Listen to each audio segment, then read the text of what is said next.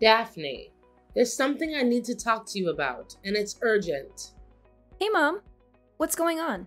I'm all ears. Look, Daphne, I know you've been sending me $2,500 every month, but I'm afraid it's not going to be enough this month. That's why I need you to send me more money. Seriously? It's not enough? But we're only halfway through the month. Don't tell me you blew through all the money I gave you already. Yeah, I gotta admit, I've already burned through all the money you sent me this month. But hear me out. Not a single penny went towards my own stuff, honey. It was all for your sister, Isabella. For Isabella? Are you sure? I mean, why does she need so much money? You know she's still in school, right? Gotta make sure she's got everything she needs to create the best possible environment for her to grow up in. You know me. I'm the kind of mom who doesn't hesitate to go all out when it comes to splurging on her kids. No doubt about it. Mom, I know that you care about Isabella. But don't you think it's a little too much to use up $2,500 in such a short amount of time? Please have a little consideration for me, too. The allowance I send you every month doesn't come easily. I worked extremely hard for it. So I'd appreciate it if you were a little more reasonable with the expenses. Don't be so stingy with your own family, okay? Have you got any idea how much I dish out every single month for your sister? With that 2500 you send, I gotta do some serious mental gymnastics to make ends meet for Isabella. School supplies, textbooks, clothes, meals, transportation, you name it, I gotta cover it all. Not only that, I have to juggle all sorts of household bills with the very same money you're sending. So don't even for a second think you're being super generous with that monthly dough. I get it. Raising a kid comes with a whole bunch of expenses. But isn't it kind of weird that the amount I send you every month still doesn't cut it for covering all the basic stuff? I mean, it's just two people in the house you and Isabella. Of course, it's not enough, dear. Plenty of times I've had to dip into my own savings just to keep things afloat in this house. It's a real stress fest, let me tell you. But as far as I know, you've got a job too, right? Shouldn't your own salary be used to cover the day to day living expenses as well? Oh, sweetheart, did you not know? I actually quit my job months ago. My main priority now is being the best mother I can be and ensuring that I provide exceptional care for our little Isabella. Wait, what? You're telling me you quit your job months ago? How come nobody told me about this? Well, you know what? I didn't want to stress you out with all the boring job stuff, so I kept quiet about quitting. I can only imagine how tough it is to work abroad all by yourself. It must get pretty lonely living on your own for such a long time. So, honestly, I didn't want to bother you with these little things. You know, they're honestly not even worth mentioning. Um, honestly, I'm not too happy about being left out of the loop when it comes to stuff like this. It's kind of a big deal, you know? You leaving your job can totally mess with our family's financial situation.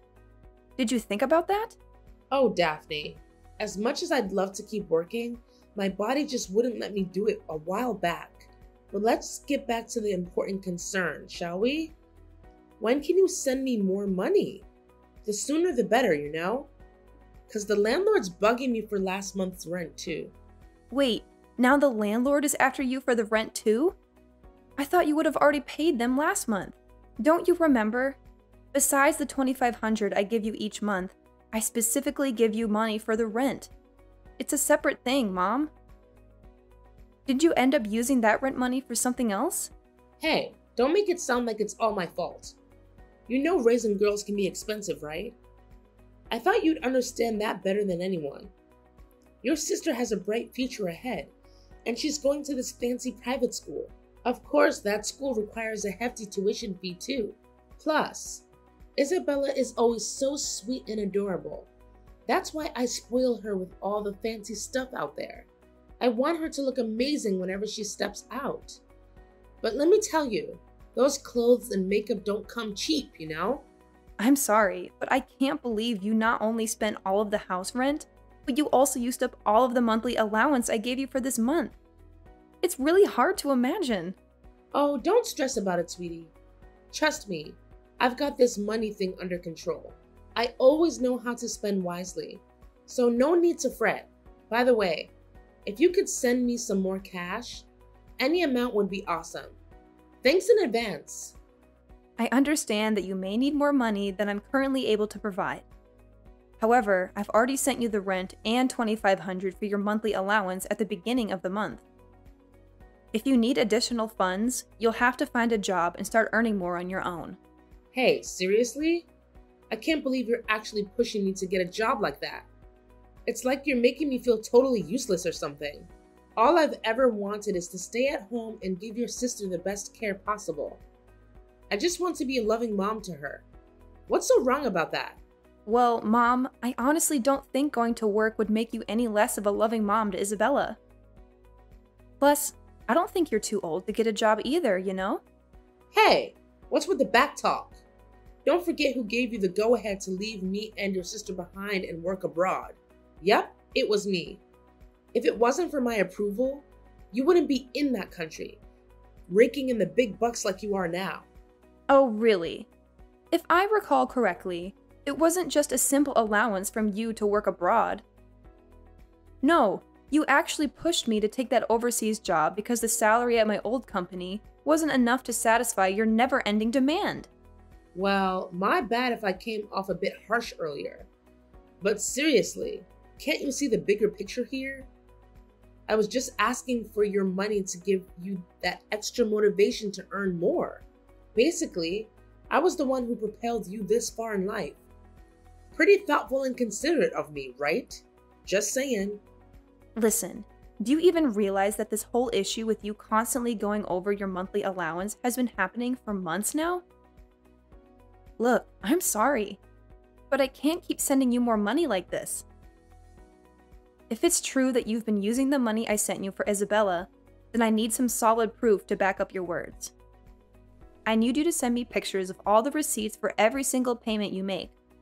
Only then will I consider sending you more. Huh? Seriously? What kind of request is that? You really have zero trust in your own mother, don't you? Fine, fine. I'll do what you're asking, alright? Are you happy now? I can't believe you have the audacity to boss your own mom around like that. Talk about being ungrateful.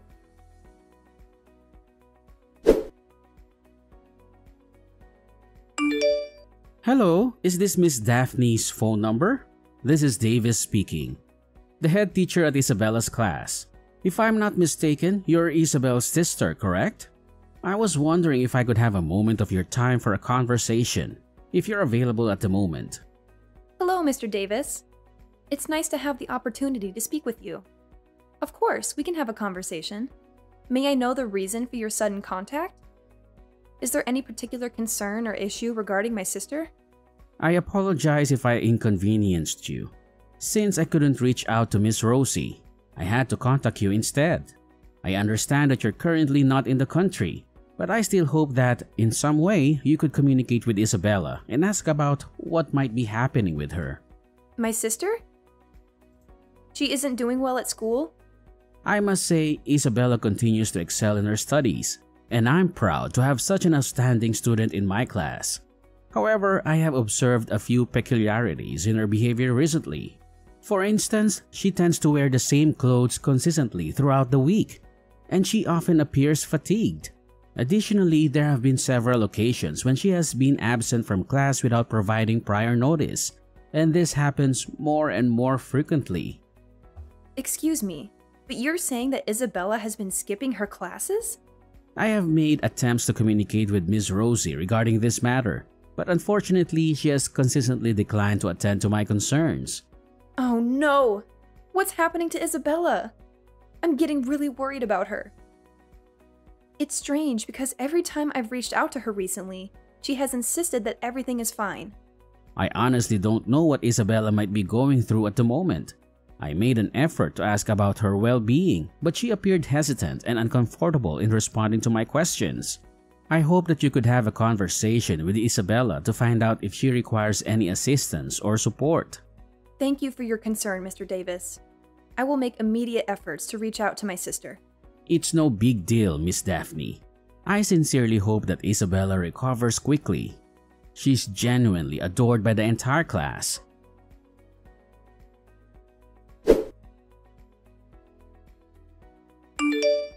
Hey, Isabella, do you have a few minutes to chat? It's your sister Daphne reaching out to you. Hi, Daphne. It's me, Isabella. Oh, thank goodness you replied, Isabella. Where have you been? I've been trying to get in touch with you, but you haven't responded to any of my messages, and I was getting really worried. Mom mentioned that you've been putting in a lot of effort studying for your upcoming exams. Is that true? I'm seriously proud of you, sis. Well, about that, I haven't been able to reply to your messages because mom took away my phone. She's been strict about not letting me communicate with you. Wait, seriously? Are you absolutely sure about mom taking away your phone? Because I've noticed that you still manage to reply to my texts every now and then. Although, yeah, I noticed you refused to take my calls a few times, claiming you were super busy studying. if you've been chatting all this time, it's gotta be mom you've been talking to. She probably used my phone to reply to your texts. And even when she lets me talk to you directly on the phone, she's always around, making sure I don't spill any secrets I'm not supposed to. Wait, what? So, how did you manage to get your phone back again? well, luckily, I stumbled upon the secret hiding spot where mom keeps my phone. She's still sleeping, so I seized the opportunity to take my phone back and message you. Hey, Isabella, can we please hop on a call urgently? I've got a bunch of pressing questions I really need to ask you. It's kinda important. No, Daphne. I'm really scared that if I speak too loudly, I might end up waking her up. I think it's safer if we stick to texting instead. I'm just really worried about the whole situation. I know mom's gonna be furious if she finds out I'm texting you behind her back. But seriously, why on earth doesn't mom let you talk to me? We're sisters. Maybe. Did you do something that ticked her off? No, I swear I haven't done anything wrong. She just took my phone away out of the blue. Hey, I'm sorry. I know mom has always had super high expectations for you. She can be a bit of a stickler when it comes to your school grades and all. Maybe she just wanted you to go all in and concentrate on your upcoming exams. it's definitely not about my study results either. I always put in my best effort at school and I even scored the highest in my class. Way to go, girl! I've always known you're a rock star. If it's not about your grades, then what's the deal with mom taking away your phone? It just doesn't make any sense. Daphne, do you think I should drop out of school? Wait, hold on a sec. Why are you suddenly talking about dropping out? You're just 15, girl. It's way too early to even think about quitting school. Plus, you've always been pumped about going to school, and you rock it academically. Did something go wrong? well, it's just that I've been feeling pretty exhausted lately. I don't think I can handle the whole school thing anymore, you know? You're not feeling well? I'm so sorry to hear that. Mom never mentioned anything about it to me. She always goes on about how she's taking great care of you. Every time I ask her about you, she's like, Oh, Isabella's totally fine, nothing to worry about. It's kind of weird she didn't clue me in on this. I don't know what mom's been telling you, but she's not taking care of me at all. I've been taking care of myself most of the time since you left. Mom barely provides me with anything anymore. No way. Are you serious? Because mom straight up told me that she's been using most of the monthly allowance I sent her to cover expenses like clothes, food, school stuff, and all the essentials for you. Wait, does this mean she's been lying to me this whole time? That's messed up. I guess. To be honest, I even have to juggle part time jobs to earn money and pay for my own tuition, food, and other necessities. But it's barely enough to cover all those expenses. What? You're saying you have to work part time jobs just to afford tuition and essential items? So, let me get this straight. Mom doesn't provide any of that for you? Didn't she at least give you some money to buy those things on your own? Well, it's like she only hands me some cash when she's in the mood for it. She actually told me straight up that I don't even deserve to eat. And if she catches me trying to grab a bite from the fridge, she'd go off on me and even lay her hands on me. I can only grab a meal when she decides to give me permission. Oh my goodness! This is absolutely unbelievable! I can't even begin to imagine how incredibly hungry you must be feeling. yeah, it's tough. My stomach keeps growling loudly at school, and it's super embarrassing. She even told me that I'm the reason our family's struggling because I don't earn any money, and apparently I just waste her money on pointless things. I can't believe this. If mom hasn't been using the money I sent her to provide for your education and other essential needs, then where on earth has all that money gone to? I'm not entirely sure how mom has been using the money you sent her, but one thing is certain she hardly gives me any money. However, I noticed that she's been coming home really late. She leaves around 9 p.m. and doesn't return until around 6 a.m. the next morning. And after she comes back, she pretty much just sleeps for most of the day. I can't believe it. Is there any limit to her irresponsibility? Also, have you observed any other noticeable changes in her? Daphne, I'm really scared. Mom always comes home drunk, and I can tell because the smell of the alcohol is so strong. She already found out that I've been working part time jobs, and she took away all of my salary and beat me for working behind her back. Now she won't let me go to school anymore and is forcing me to work so that I can make more money for her. I'm absolutely appalled. I can't believe how mom has turned so abusive towards you. I really don't want to drop out of school. But if I don't go to work, I won't have any money to buy food. I'll starve to death, literally. What should I do now, Daphne? Listen, Isabella, don't you worry at all. I've got your back, okay? I'll make it a priority to go back to our home country as soon as I can and have a serious talk with mom about this situation.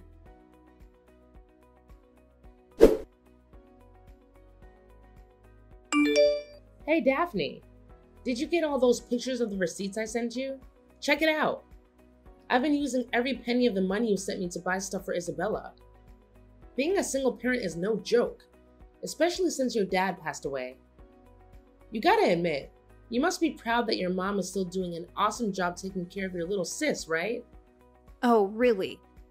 Did you notice anything weird or suspicious about the receipts you sent me? What? Is there something wrong with those receipts? Receipts for alcohol and cigarettes? Seriously? Do you really think a 15 year old girl like Isabella would have any use for that stuff? Oops, my bad. Those receipts are actually mine, honey. I mean, come on. As much as I care about Isabella, I gotta treat myself too, right? And why on earth did you confiscate Isabella's smartphone? To make matters worse, you even went as far as pretending to be her and texting me. What's that all about? Wait, hold up. Who told you that? I swear, I never took away Isabella's phone. There must be some serious misunderstanding going on here, sweetheart. No, there's no misunderstanding here. Isabella spilled the beans and told me everything. She made it clear that you indeed confiscated her phone and even went as far as pretending to be her in our text exchanges. Huh? Isabella spilled the beans to you? I can't believe it. She's totally lying. Don't buy into a word she says. I'm seriously disappointed in that little girl. I've done everything I could to raise her properly, but she's developed this attitude towards me. She keeps defying my orders and has been getting more and more rebellious. No, Rosie, you're the one who's lying. I was seriously scratching my head when Isabella herself approached me for money, but now it's all clear as day. It was you pulling the strings all along. You took her phone, pretending to be innocent, just to deceive me and try to get my money. I've been telling you, don't fall for anything Isabella says. She's turned into a pro at lying.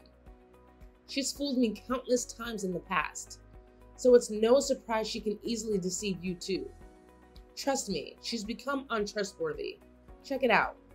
It's already 9 p.m. and Isabella hasn't come home yet. Who knows what she's up to out there?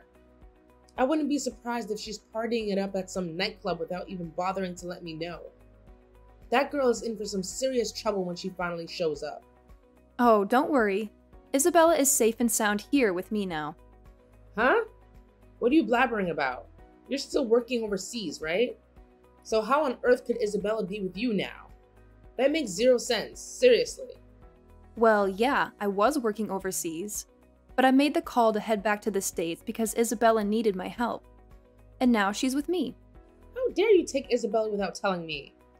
Remember, I'm Isabella's mother, and I have her custody. You took her without my permission. That means you kidnapped her from me. I'm gonna call the police on you. If you feel like calling the police on me, go ahead. But there's nothing wrong with family members wanting to be together, right? I mean, come on. I'm Isabella's sister after all. And here's the thing Isabella is old enough to make her own decisions about who she wants to live with. And guess what? She doesn't want to live with you anymore.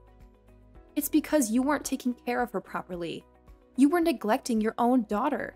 So, starting now, Isabella's gonna be living with me. Stop falsely accusing your own mother. I wasn't neglecting Isabella, okay? Sure, maybe there were times when I didn't give her enough attention, but that was only because I was swamped with work. But you're not even working anymore. You told me that yourself, right? Did you forget? Huh? Did I actually say that? Well, maybe it was just a misunderstanding, dear. I'm indeed still working. No, you're not. I actually contacted your coworkers and they told me that you quit your job about a year and a half ago. Who gave you the right to go snooping around and prying into my personal life? Seriously, you're asking for some trouble, Daphne. Quit acting foolish and hand Isabella back to me right now, or I won't hesitate to call the cops. I'm dead serious. I've already said it before. Go ahead and call the police if you want. But trust me, it's gonna backfire on you big time. They're more likely to arrest you than me.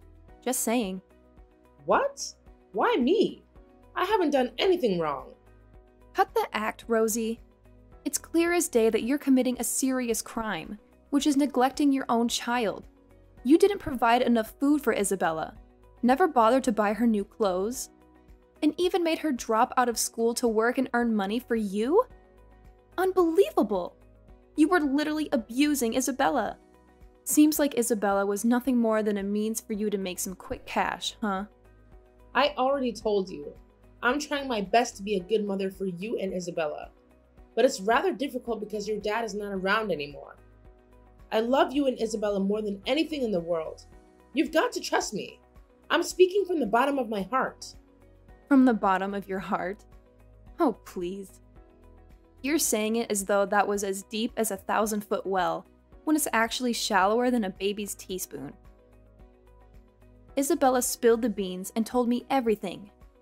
She was forced to do all sorts of housework and couldn't even take a proper shower because you wouldn't let her use the hot water. Not only that, you didn't even allow her to wash her clothes because you thought it was a waste of water. Seriously? Tell me, is there any loving mother out there who would treat her own daughter the way you've been treating Isabella? I can't wrap my head around it. Oh, come on. Seriously? How could you be so gullible to believe whatever a 15 year old girl says? She's just spewing lies. No one in their right mind will fall for that nonsense. Nah, sorry, Rosie, but she's not lying. I've already done my homework and talked to Isabella's teachers and friends, and guess what? They all confirmed that something was off with you. You need to face reality, Rosie. Your little scheme of using Isabella to make money is over. She's never going back to you. Not a chance. Oh, and by the way, I'm not messing around. I'm reporting you to the police for child abuse. It's time you face the consequences. What? No way. No way. Sweetheart, I really think we need to sit down and have a serious talk about all this. Having the authorities involved just makes things way too complicated, don't you think? I mean, come on. Do you really want Isabella to get caught up in this whole mess? I know you wouldn't want that, right? Look, I'm genuinely sorry, alright? Just give me another chance, please. I promise I'll never treat Isabella poorly again. You have my word on that. I want things to go back to the way they were before. You're not going to be so cold hearted to your own mother, are you? Rosie, let me make this crystal clear. I no longer see you as my mother. Not now, not ever. I will never, ever forgive you for the way you neglected Isabella and shamelessly used her for your own financial gain. You know what? You're not just a neglectful parent, you're a monster. It's sickening to think that a mother could treat her own child in such a despicable manner.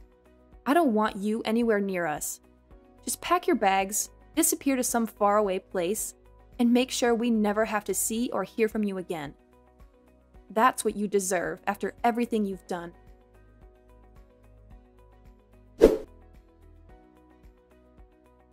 After conducting a thorough investigation, the truth finally came to light. It turned out that my mother had been misusing all the money I sent her on frivolous things like new clothes, cosmetics, and meaningless parties. She had completely neglected her responsibilities toward Isabella. As a result, the authorities stepped in and took custody of Isabella away from my mother. On top of that, my mom had to pay a substantial fine as a consequence of her actions. Now, Isabella is under my care, and we have already moved into the new house I purchased for us to live in. As Isabella moved out, we put our old house up for sale, just as stated in my dad's will. The proceeds from the sale were divided among the three of us. However, my mother quickly squandered all the money she received and ended up penniless. From this point forward, I am fully committed to giving my little sister the life she truly deserves. I'll protect her and be there for her no matter what challenges come our way.